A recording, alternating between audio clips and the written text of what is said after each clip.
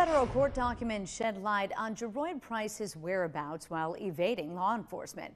Price, a convicted killer whose early release from prison was vacated in April, was in the state of South Carolina when he was sentenced and when his sentence was reinstated.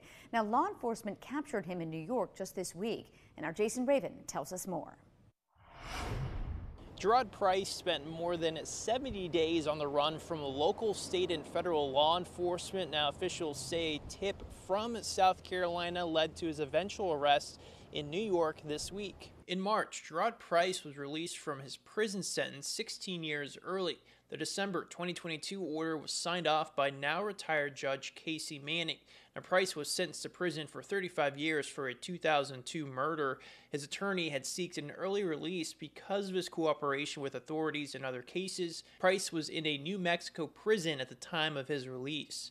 In April, the state Supreme Court overturned that order that released him from prison after the Attorney General and others argued the order was illegal. Now, justices ruled 3 to 2 that Price needed to be returned to prison. Sending Mr. Price back to the Department of Corrections is like ordering a death sentence on him. After Price didn't turn himself in, this kicked off a months long search for him. According to federal court documents, the FBI believes Price was briefly in South Carolina when his release was vacated, but went to Fayetteville, North Carolina, and boarded a bus to Atlanta, Georgia. They said telephone tracking indicated that Price went from Georgia to New Mexico.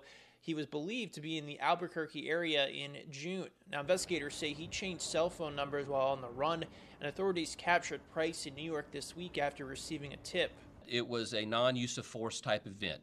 I don't want to say it was peaceful, but there was no force needed, and he was apprehended without any any event occurring. A New York court records show he's currently in custody awaiting a hearing on July 31st. He's expected to return to South Carolina. He will be taken to the Kirkland Reception and Evaluation Center in Columbia until his permanent custody placement is determined.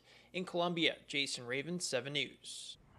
Authorities were offering $60,000 for information leading to Price's arrest.